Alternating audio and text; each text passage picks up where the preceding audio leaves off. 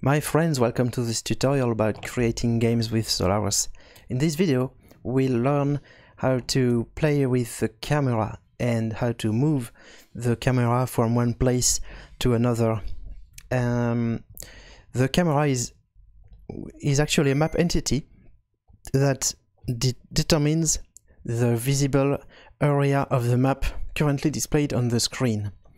So it has a size which is uh, by default the size of the screen.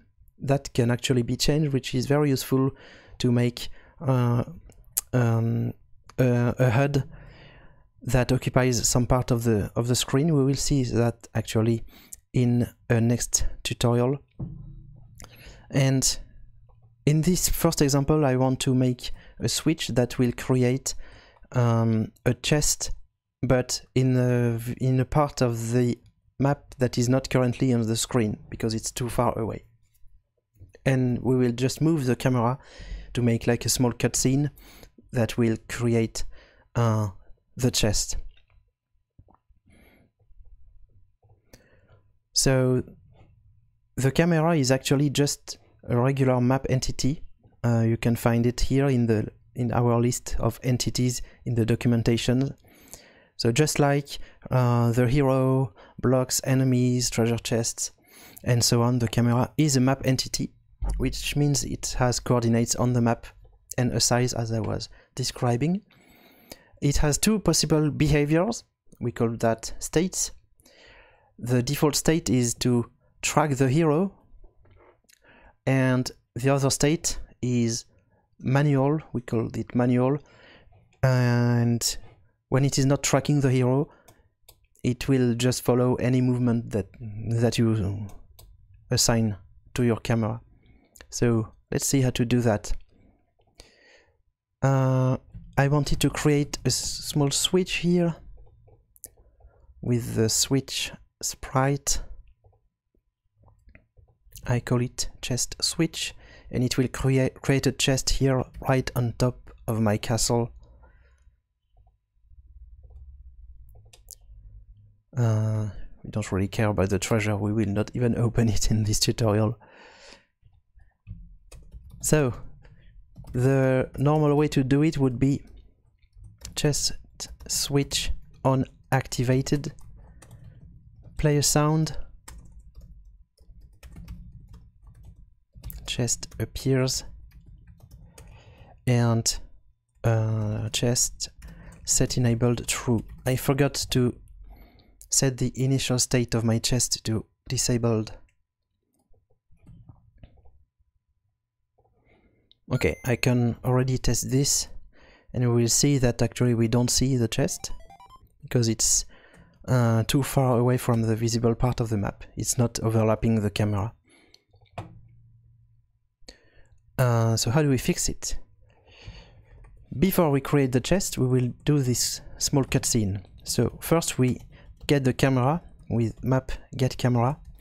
So there is always exactly one camera on the map. You cannot remove the camera or you cannot create other cameras, at least in 1.6, because actually in 1.7, which is not yet released uh, at the time I'm recording this tutorial, but in 1.7 there will be some multiplayer features and uh, among other things it will be possible to have multiple cameras uh, on in the same game and even multiple maps. Um, but we, of course, will not do this today. But if you are watching the this tutorial in the future, it's it might be interesting to know that. But okay, map get camera, and uh, yeah, we it's really just a regular entity, so we can create a movement like we always do. So you could create a movement of type straight and um, compute the angle yourself, your, the angle of your movements to, to go to the treasure chest. It's a little bit tricky um, because the origin point of the camera is actually so the camera is um, has the size of the screen right so if I just do that to represent it it has like this size. So when you are on the switch, your the camera is approximately here, and the coordinates of the camera as, are actually the upper left corner here. So you have to compute the coordinates that go not from the upper left corner to the chest, but from the center of the camera to the center of the chest. Um, the target movement type helps a little bit with that and also especially it helps because it, it will just stop the movement when the target is reached so you don't have to compute also the distance. Uh, so target movement is really the best here. We will do set speed 200 pixels per second and we need to specify the target. So the target should be um, the chest. We see the problem that I was just describing, but let's let's start like this. Movement start. We start the movement on our camera. And when the movement finishes, we do this callback uh, that creates the chest. I mean, that enables the treasure chest. Oops, I forgot to remove that. Okay, let's keep the code visible. Okay, so I'm going too much to the right and it's because I haven't fixed that problem that I was describing. Uh, when I did uh, target chest, I mean, when, when I start the movement, it, it always moves uh, the origin point of whatever entity I am moving. So here, the origin point of the camera is the upper left corner. So the movement that was done is actually here. The camera moved like that towards the chest. So the center of the camera was not on the chest. How do we fix that? Uh, one way to fix it is to actually uh, move our target instead of targeting the chest we can target uh, more to the left and more to the north of the chest, where width and height are the size of the camera.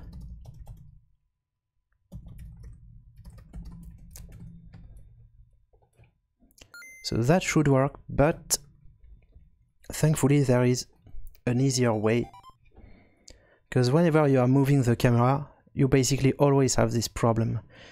So there is a helper for that in the camera API.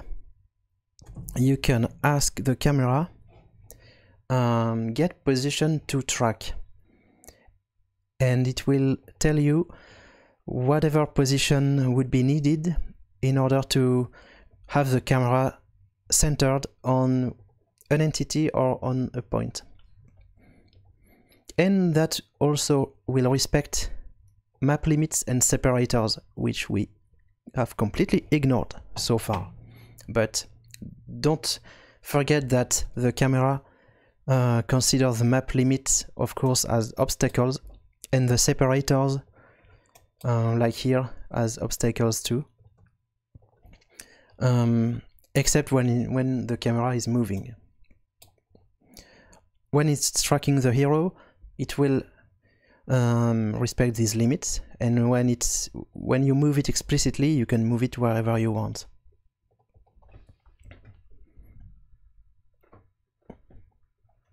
I mean you can move it through separators but uh, you can still not move it uh, can you move it outside the map limits?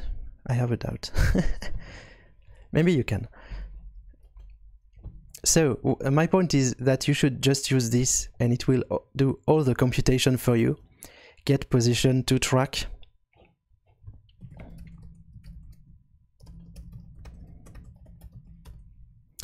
Uh, to track what? The chest.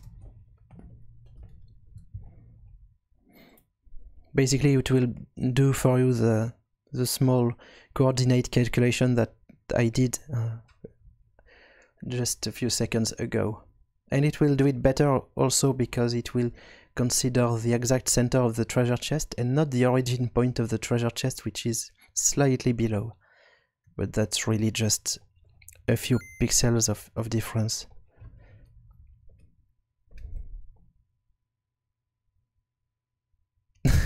okay, I have no idea what I've done here. It's clearly not working at all. Um, okay, set target shouldn't... Okay, I forgot to remove this first parameter, so...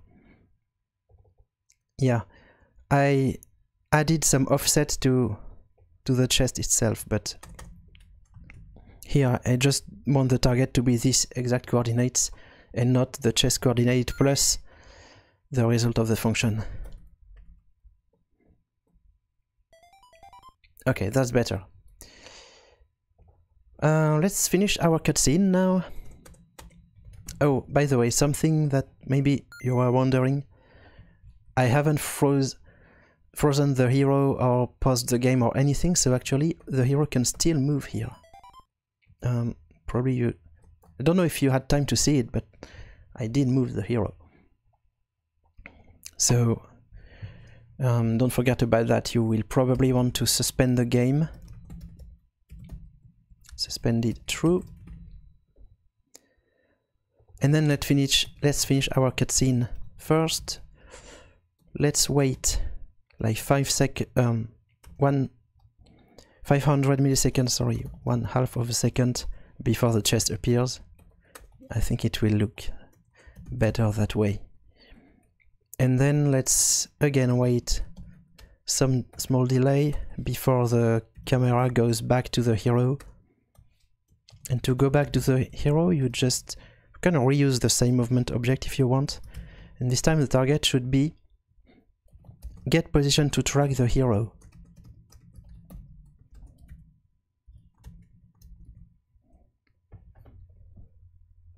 So again, um, if I put back my my camera uh, shape here, just to show you, the upper left corner of the camera is here when I mean no it's here when the chest appears and we want the camera to go back to the hero. So get position to track will return some coordinates uh, like here approximately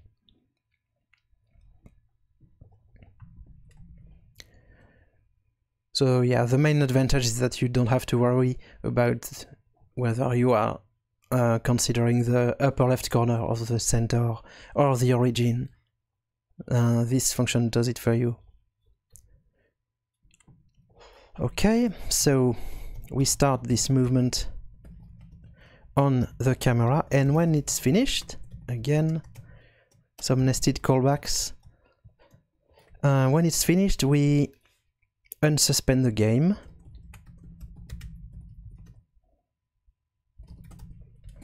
By the way, instead of uh, suspended and unsuspended, we could do also hero freeze and then hero unfreeze.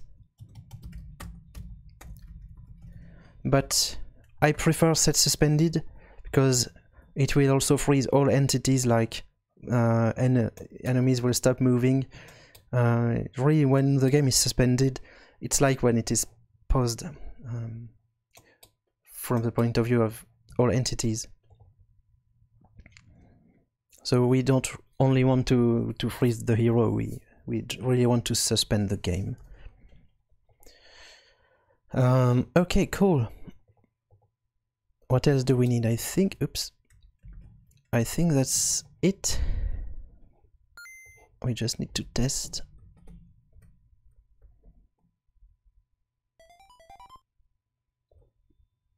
okay, it works. Oh, except that my camera is still in manual state. So, as I was saying at the beginning, there are two states for the camera. The default state is tracking the hero. It could also be tracking another entity than the hero. Uh, I can use start tracking here. And the other state is manual, that is triggered either with start manual or when you actually start a movement on your camera. And when the movement stopped, stops, the state does not change again, so um, we have to track the hero again, start tracking hero.